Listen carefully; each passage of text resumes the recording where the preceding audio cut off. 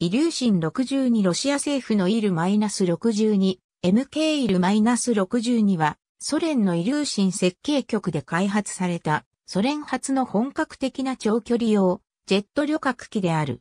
エンジン4機をまとめて後部に装備する独特な形態だが、これはソ連のスパイが入手したイギリスのビッカース社が先に設計を進めていた大型ジェット旅客機 VC-10 の設計図に版を取ったことによる。またナローボディ機であるため、機内の通路は中央のみで、客席は3から3の横6列配置となっている。総生産数は210機以上で、アメリカ製、ジェット旅客機との競争の末に短命に終わった VC-10 をはるかに上回る数が製造された。開発は1962年に始まり、初飛行は1963年1月に行われた。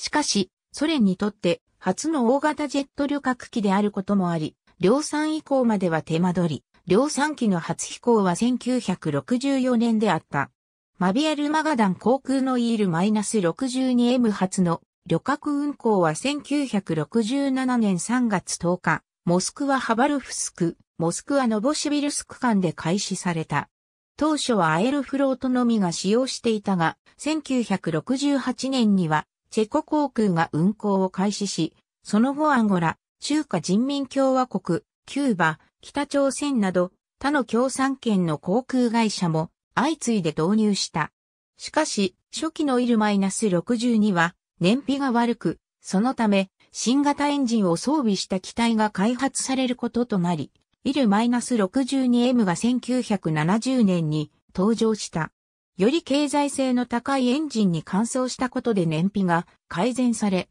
西側の旅客機に劣らぬ競争力を手に入れた。また、機内の各装備も更新されている。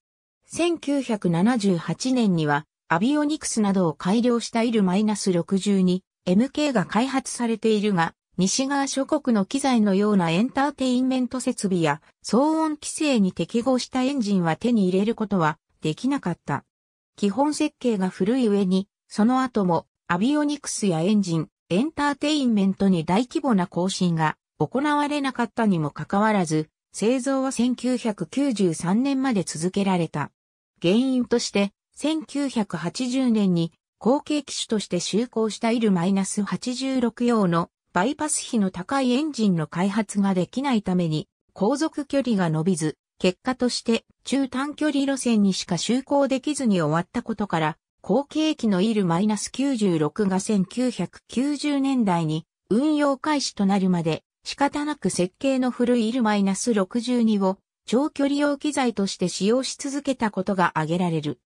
その結果、元東側諸国の一部では西側のビッカース VC-10 やボーイング707などの第一世代のジェット旅客機と開発年代が同じイル -62 がボーイング747から400やエアバス A340 が生産されている時点でも生産が継続され、ボーイング787やエアバス A350 が就航した後も生き残るという現象が生じている。現在では初期型のイル -62 は、ほぼ全機引退し、活躍しているのは、イル -62M や、それを改良し西側機のコンセプトが取り入れられたイル -62MK などである。しかし一時期共産圏の長距離旅客機といえば、これを指すほどよく使われ、共産圏では、要人移動用の政府専用機として利用された。2017年現在では、ロシアやウズベキスタンなど独立国家共同体諸国の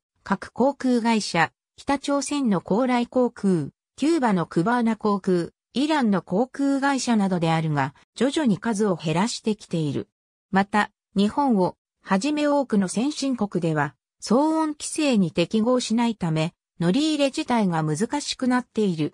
2018年2月9日、ピョンチャンオリンピックの開会式に出席するため、訪韓した北朝鮮の金英南や金与えただしら、高位級代表団を乗せた政府専用機がインチョン国際空港に着陸して、旧西側に久々に姿を見せ、同年5月7日に最高指導者の金正恩委員長は政府専用機のイル -62 を初めて外遊に利用して訪中するも、同年6月10日に、史上初の米朝首脳会談の開催地シンガポールを訪問した際は、金正恩委員長は、中国国際航空の中国政府専用機である、ボーイング747オーロとキロにチャーターした。アエロフロートソ連航空時代のイル -62、クズネツオフ設計局製 NK-8、ターボファンエンジンの開発が間に合わなかったことから、S-7 や S-9 のような軍用機に